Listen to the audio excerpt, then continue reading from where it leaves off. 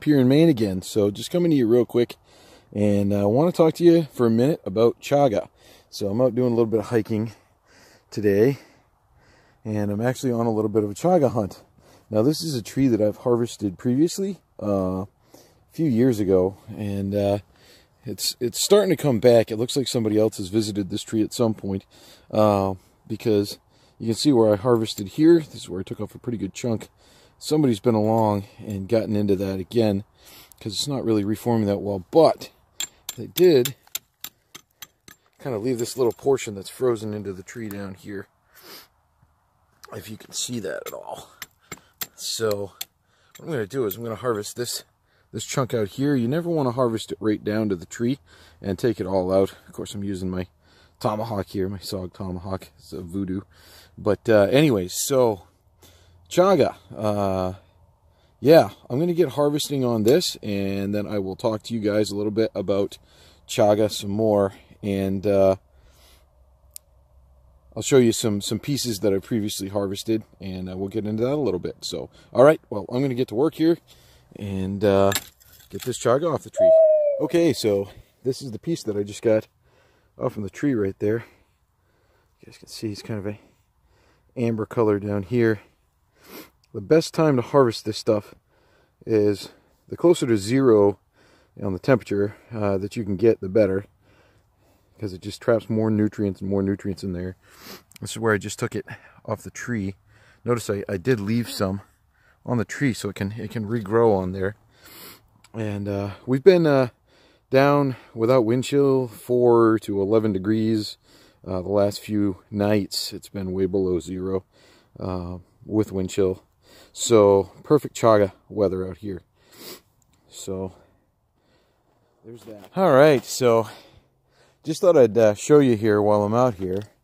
Um, so as you're looking at the trees in the winter, it's a little hard to tell sometimes. You do not want to get chaga if you do find it from a dead birch tree because it's not going to have it's not going to have any of the nutrients that you're looking for. It's not going to hurt you, but it certainly isn't going to have the health benefits either. So as I'm walking along, obviously we see a birch tree here. Unfortunately, there's no chaga on it. Typically, chaga will start forming when a tree has been damaged at some point. Uh, what you want to do is you want to look at the top. And this time of year, of course, at least in, in like New England climates, uh, you're not going to have leaves on anything. Look at this old grandfather of a tree here. Uh, so everything kind of has that dead look to it, but you can see if there's healthy wisps, there's another birch right there, healthy wisps up at the top of the tree, uh, where quite possibly there's, you know, I mean, you can, I'm sorry, you can tell that the, that, that tree is alive in the, in the summer and in the spring, well, it's alive now, but in the spring it will, it will actually start to sprout leaves and, and show you signs of life. So as you're hunting for chaga, you want to find healthy birch trees, uh, and that's where you're going to want to find it. You do not want to take your chaga off from a cherry tree, uh, because cherry tree chaga will actually have uh, arsenic in it, and uh, that'll that'll poison you.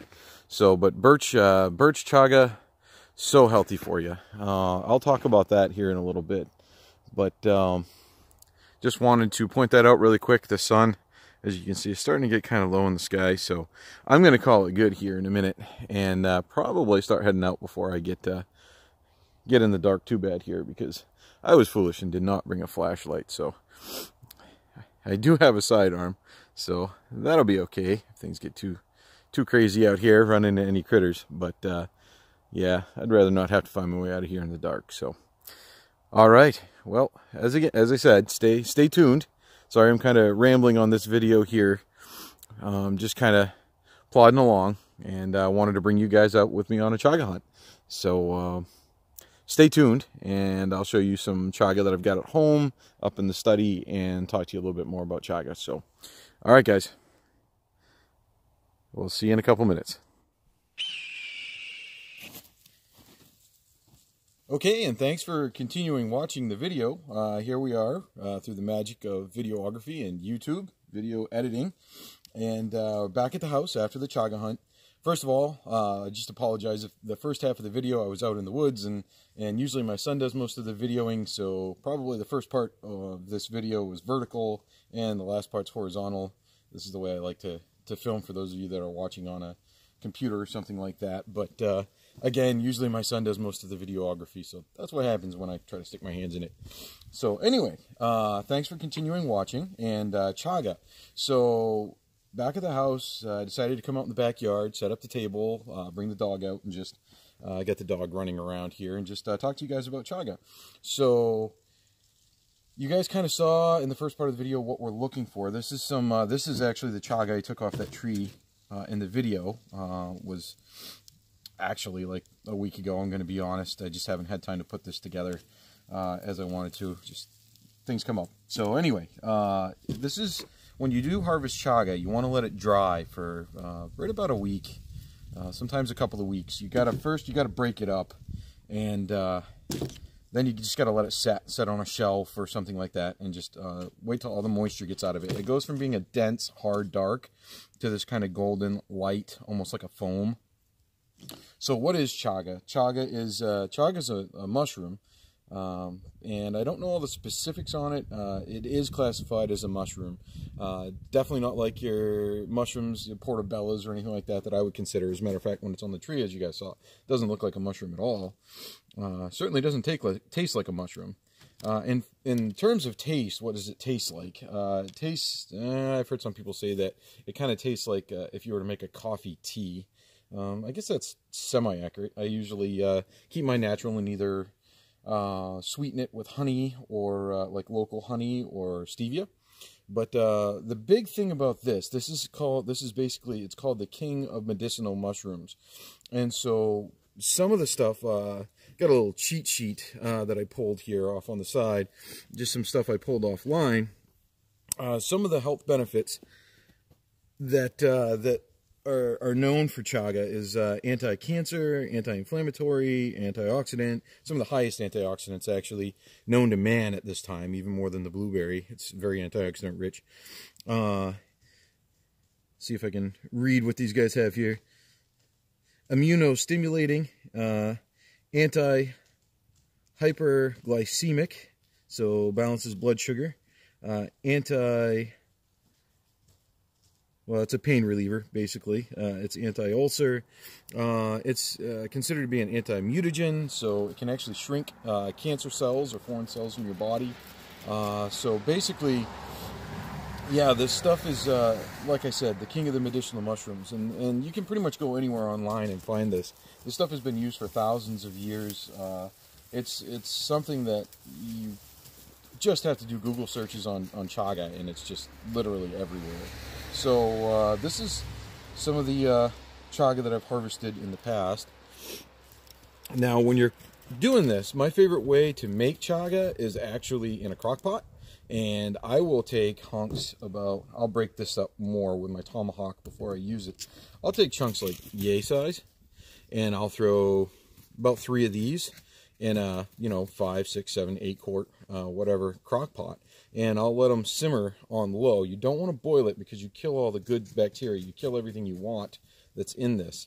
Um, and I'll let it simmer for 10 to 12 hours and then shut it off and let it set for you know another couple hours while it's cooling and uh, and then I'll actually put it in I've got some some dark glass bottles some 64 ounce bottles and I'll fill up a few of those and put them in the fridge and, and my wife and I and my son uh, will drink the chaga um, and then you can heat it on the stove or however you want to heat it after that or just drink it cold like an iced tea kind of sort of and uh, so that's how I make it. That's that's by far the best method I found to make it. Now you can eat this black stuff, uh, which again you can just do a Google search on what all this is called. But they say that uh, this black stuff here on the outer layer is actually very nutrient rich, and uh, this inner stuff, man, that's just that's just gold right there. Um, it's I love chaga. Now, when you do harvest it, one thing to keep in mind, it won't hurt you really, but I'll just take a knife and I'll scrape off the uh, the birch bark from it so,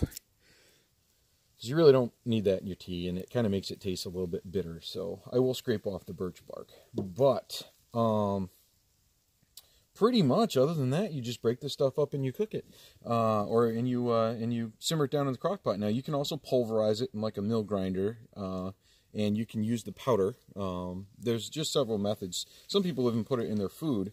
Um, I would really encourage you if you don't really know much about chaga, and my wife hates mushrooms, by the way, uh, but she actually uh, she she really it took some convincing to get her to try chaga, but she really enjoys her chaga. So, and just it it, it actually you get like. Uh, in my opinion, in my mind's eye, what I feel, my truth, excuse me, uh, but what I feel is uh, I actually get an energy kick out of this stuff. Um, to be honest with you, because of all the all the antioxidants in it, it just really boosts your system. And uh, if I'm starting to feel under the weather a little bit, and I drink chaga for a few days, uh, I tell you, there's there's just nothing quite like it. Um, it helps with aches and pains, and uh, and again, you know, if you're a blood pressure or really anything, whatever ails you, if you're drinking chaga, it will help to counteract that.